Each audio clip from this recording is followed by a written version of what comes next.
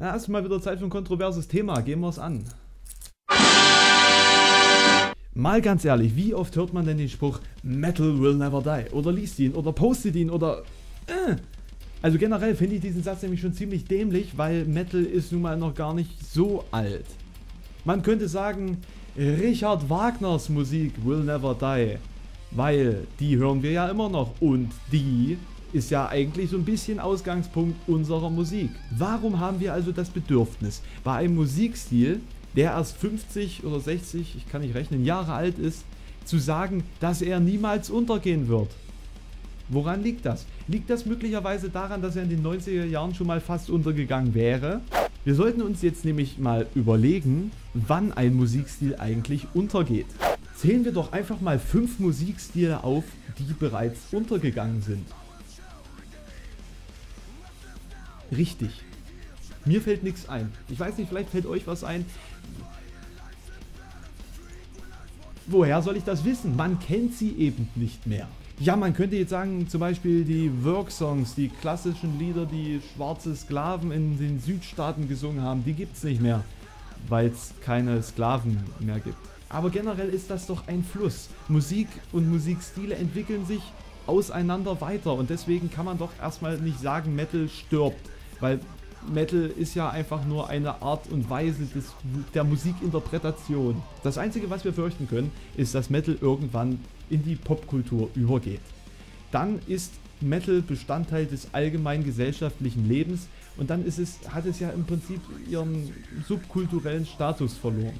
Da gibt es jetzt zwei Möglichkeiten meiner Meinung nach. Entweder wird die Musik aufgenommen verändert sich, aber bleibt als eigenständige Spielweise übrig, wie zum Beispiel der Jazz. Oder sie wird in die Popkultur aufgenommen und wird dann einfach irgendwann out, so wie Eurodance in den 90ern, weil das einfach jeder hört und es irgendwann grottenschlecht wird. Und wenn ich mir zum Beispiel betrachte, dass auf meinem Wackenbändchen ein ZDF Kulturaufdruck steht, kann man schon davon ausgehen, dass Metal auf dem besten Weg dahin ist, in die ja, allgemeine gesellschaftliche Popkultur überzugehen.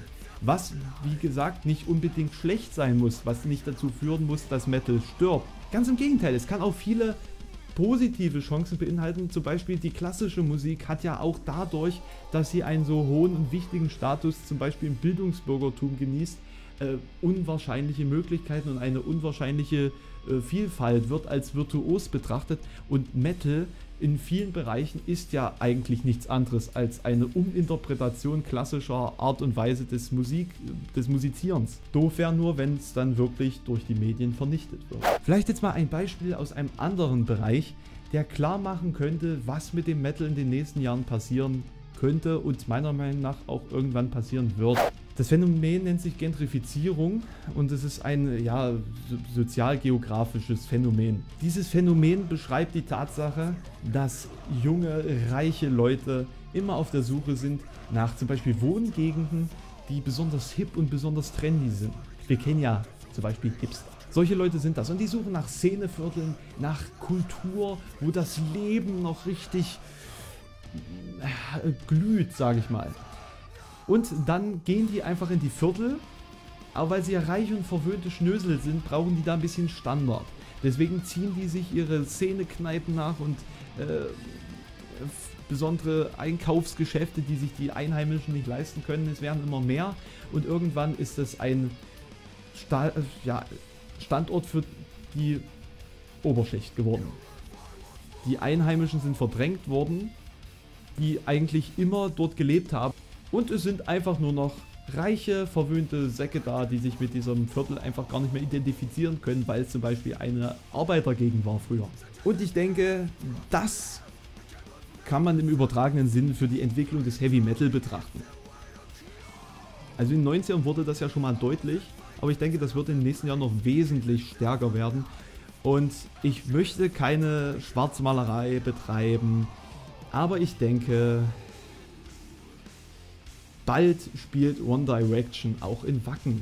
Was keine Kritik an Wacken am Festival direkt ist, sondern einfach nur ein Zeichen dafür, wie es sich mittlerweile abzeichnet, dass es sich entwickelt. Vielen Dank, dass ihr mir zugehört habt und wenn ihr eine andere Meinung habt von wegen Metal will never die, dann schreibt es mir bitte unten in die Kommentare. Es ist wirklich eine ja, traurige Geschichte. Und manchmal denkt man sich, warum bin ich nicht einfach ein bisschen früher geboren, ja. Ja, genießt, solange es noch cool ist. Also solange es nicht cool ist, solange, ihr wisst schon, was ich meine. DPR over and out, äh, bis zum nächsten Mal.